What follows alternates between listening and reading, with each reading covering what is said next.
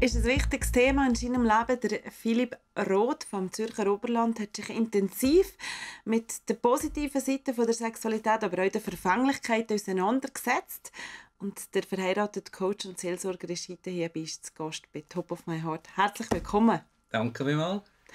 Du hast uns zwei kontroverse Bilder mitgebracht zum Start. So zwei Sexwelten. Ja, genau. Auf der einen Seite das ist so ein schönes Playboy aus den 1995er Jahren. Dort bin ich gerade etwa 12 und habe äh, mich mit dem befasst.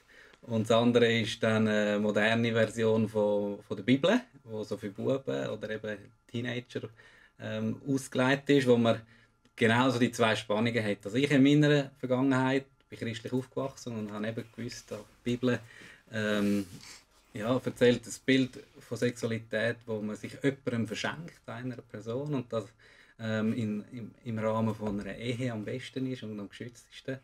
Und dort dann auch äh, wild und kuschelig wird, so wie es Soelia da beschreibt. Und auf der anderen Seite eben habe ich das, das Playboy gehabt, wo halt einfach, ähm, ja, da kommt man an alle möglichen Facetten von Sexualität an, da kommt mehrere miteinander und möglichst äh, dort, wo du willst und so wie du willst und dass es, äh, ja, deinen Spass sozusagen hast. Und das sind so die zwei Welten, wo, wo ich mich dann eben mit 12, 13, 14 auseinandergesetzt habe und, und gemerkt habe, dass da ein Kampf stattfindet, in mir rein. Mhm.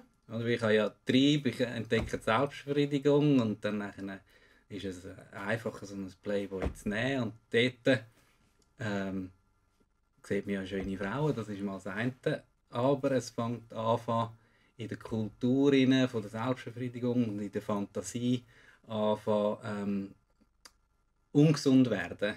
Mhm. Und also das Ungesunde dahinter ist halt das, dass man sich immer mehr zurückzieht. Es geht immer noch so um die eigene Sexualität, um die eigene Befriedigung. Es passiert so ein bisschen im, im Stillen für sich und niemand kommt es mit über. Und das trainiert man sozusagen dann über Jahre.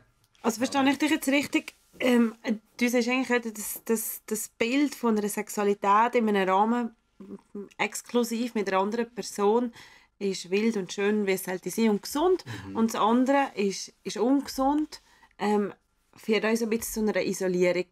Ja, genau. Und du hast das so ein bisschen ansatzweise erlebt in deiner Teenie-Zeit. Hast du das erlebt, dass, ähm, wenn du dich da drin hast und vielleicht etwas ein bisschen probiert hast, ähm, gerade in, in Form oder im Zusammenhang mit Playboy und so weiter, dass du nachher isoliert bist? Hast du das gespürt? Oder wo, ist der, wo, ist der, wo hast du das Ungesunde wahrgenommen in dir? Oder wo war die Schwierigkeit? Gewesen? Bei mir war es so, dass ich mal beim Playboy angefangen dann kommt man irgendwann über einen Kollegenkreis an einem, an einem Porno an und ähm, dann sind es vielleicht mal einfach die Pause Dauerwerbesendungen, die Nacht um 12 Uhr mit 0900 oder was auch immer ausgestrahlt werden. Und dann es führt ein zum anderen und, und die Kultur um so eine wilde, egoistische Sexualität wird immer stärker. Aber alles so im, im, äh, im Kämmern oder im, im Stillen. Wir, ja, das dann können was ist daran so schlecht? Ja, über Jahre isoliert es einem einfach immer mehr in die, in die Fantasie rein und es reduziert die Sexualität noch, noch um, um den körperlichen Aspekt rund um den Orgasmus. Und alles andere wird noch, in der Fantasie gelebt. Mhm. Eben so zum Schlungen sein oder die Nähe, die Liebe, die Sehnsucht aufeinander, zu einander zu verschenken, hat überhaupt keinen Wert mehr, sondern man nimmt jetzt das, was ich will, so wie ich will und ähm, mache es mir so, wie ich will. Und das ist einfach für eine Beziehung ein schlechtes Fundament. Aber wenn du nachher eine Beziehung hast, ist das nicht anders?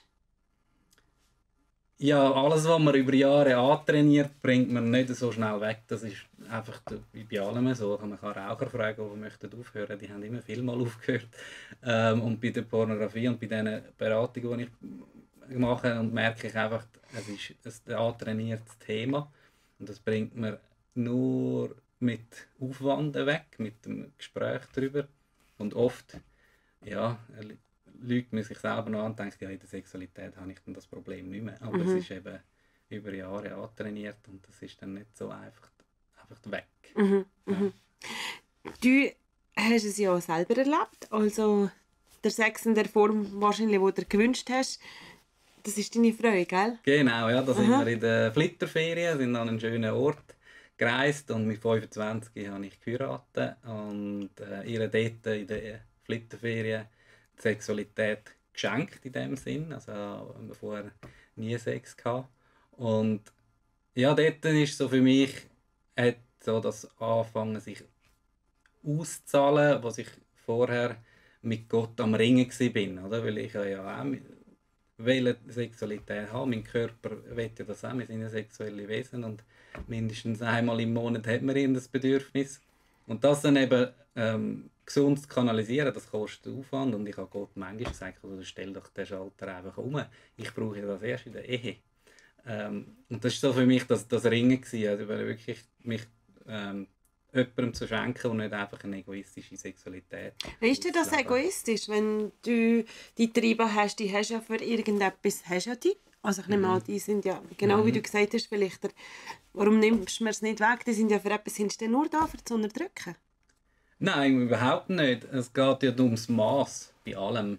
Also beim Alkoholtrinken ähm, kann man ja gerne das geniessen, aber irgendwo kippt es. Und das ist bei der Sexualität eben auch so. Es, ähm, es gibt ein, Maß, das gesund ist und das hat auch irgendwo eine Bandbreite. Bei einen braucht es mehr, bei anderen braucht es weniger, aber ähm, oft wird das dann eben nachher über, überspannt, der Bogen mhm. mit der Pornografie, weil man halt einfach nimmt, nimmt, nimmt. Mhm. Und ähm, ja, das wird dann zu einer Sucht und das ist dann definitiv äh, nicht mehr förderlich. Jetzt äh, mal von der Pornografie weg, wenn wir äh, rein von Sexualität reden. Du hast vorhin gesagt, ich habe ähm, können den Sex quasi sparen bis zur Ehe, das habe ich so dürfen erleben. Ähm, die Bibel redet da nicht klar, du redest von den biblischen Werten. Was ist denn deiner Erfahrung noch, oder wie hast du es denn du gemacht, dass du hast können sagen, wow, ich habe das als etwas mega Schönes erlebt und kann es auch können zelebrieren. Aber ich habe in vergangenen Jahren, wie bist du mit der Sexualität, ich sage jetzt nicht Sex, sonst umgegangen? Ja, also was mir mega hilft, äh, auch heute noch, ist, wenn ich reizvolle Sachen sehe, egal auf welchem Kanal, ähm, dass ich sie eben in die Ehe und in, meine, in die Sexualität projiziere, wo, wo in meiner mhm. Ehe stattfindet. Und vorher habe ich das natürlich noch nicht können, weil ich noch nicht eine Beziehung hatte. Und dort habe ich einfach gemerkt, okay, die ähm, Reize und die Bilder, die ich sehe, die lösen etwas aus. Und ich kann es einfach ähm, nicht weiter eben in eine, wie man dem sagen, in eine Ebene hineinleben, wo es dann nachher so massiv ist, dass es negative Folgen mhm. hat.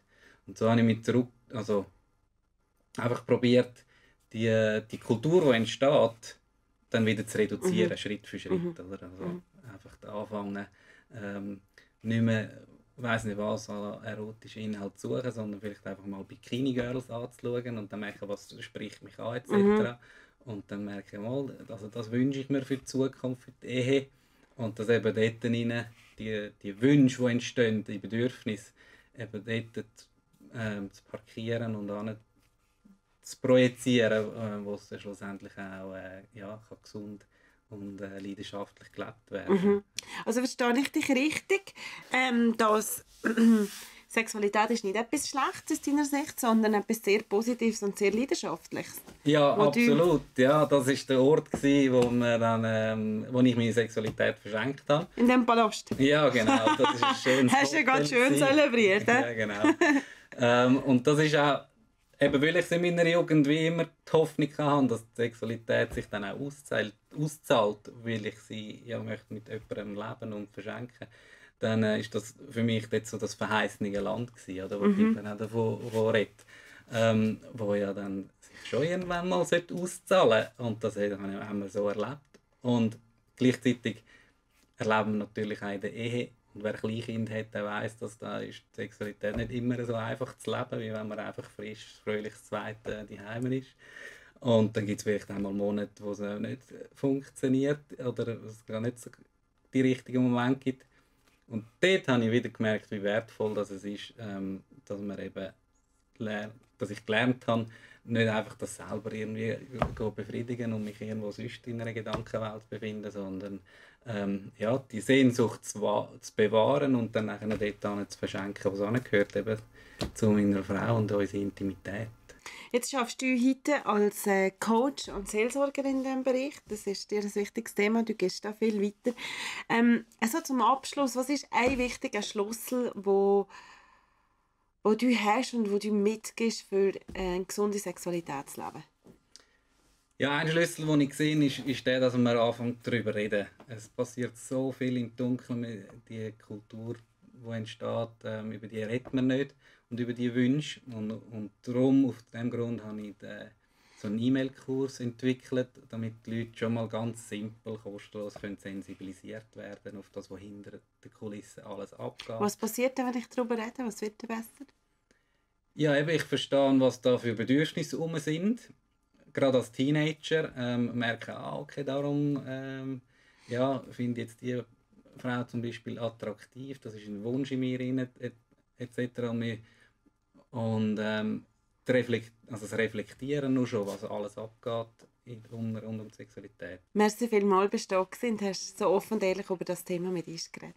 Danke auch. Weiterhin alles Gute. Und danke auch, dass ihr dabei gewesen. Ich wünsche euch eine gute Zeit. Ade miteinander.